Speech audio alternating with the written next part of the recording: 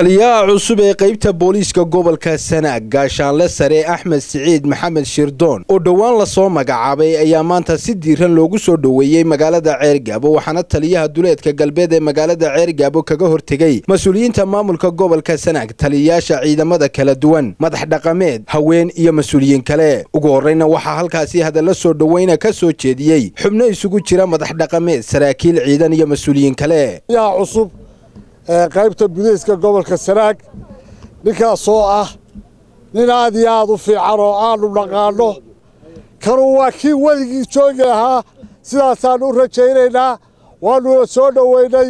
Cusub axmed siciid taliyahaasoo aad aragtaan farxadda lagu farxay aad ka aragtaan sida fagaaraha maalinta jimcaha loogu soo baxay. Waxaanu filaynaa kii halkaas sida siciid sheegaya jarnimo ka qaadan lahaa. Ee taliyaha qaybta ee cusub ee lagu farxay soo dhoweyntiisa. Waxaannu soo dhoweynaynaa taliyaha cusub. Si kal iyo laaba taliyayaashii horena waannu sii dhoweynaynaa maanta halkaannu ku soo dhoweynaynaa taliyaha cusub. Waxaan aad ugu kalsoonnahay inuu leeyahay kartidii waayo aragnimadii iyo aqoontii looga baahnaa. Waxaannu ugu ducaynaynaa xilka waannu ku soo dhoweynaynaa waannu ku garab istaagaynaa waxaannu ku soo dhowaynaynaa salaan diiran oo farxad leh. Taliya ku soo dhowow gobolka sanaag oo nabada. Waxaannu kuu rajaynaynaa hawsha lagu ilmada in xilka alla kugu asturo. Maanta waxaannu ku soo dhowaynaynaa taliyaha cusub ee qaybta gobolka sanaag axmed siciid. Waxaannu leenahay soo dhowow.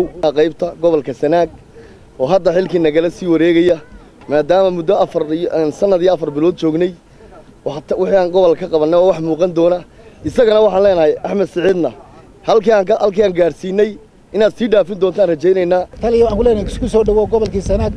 Run ahaantii waa sidaa waa dee saraakiil looqon loo yahay gobolka waan leenahay wax badan buu qabanayaa sidoo kalena waxaa halkaasi ka hadlay barasaabka gobolka sanaag axmed cabdi falay. Halkan waxaanu ku soo dhoweynaynaa taliyaha qaybta axmed siciid waxaanu leenahay soo dhowow taliye haddaanu nahay maamulka gobolkana si fiican baanu kula shaqayn doonnaa. Halkan waxaynu maanta ku soo dhoweynaynaa taliyaha cusub ee qaybta booliska iyo taliye ku-xigeenka oo isagu halkan sii joogay.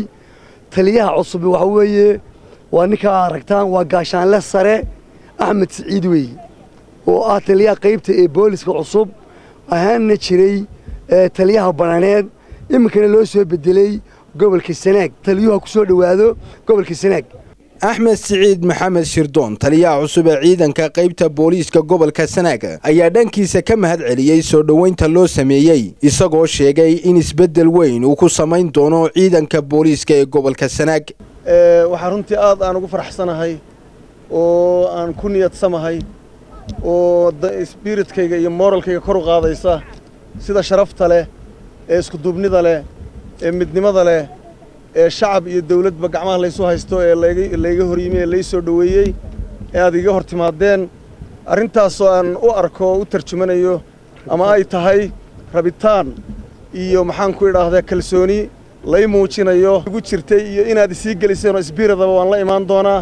Ilaahayna waxaan ka baryayaa inuu ii fududeeyo oo igu asturo xilkaana lay magacaabay aana u ballan qaadayo inaanan maxaan dhinacna ahaan doonin aan maaragtay xukuumaddayda ku beteli doono boliiskayga ku beteli doono amniga iyo maxaan kala dambaynta oo aynan cidna kaga haybaysanan inteennaasi waa intii waxyaqaankaada waxgaradkaada iyo intaynoo maqaniba.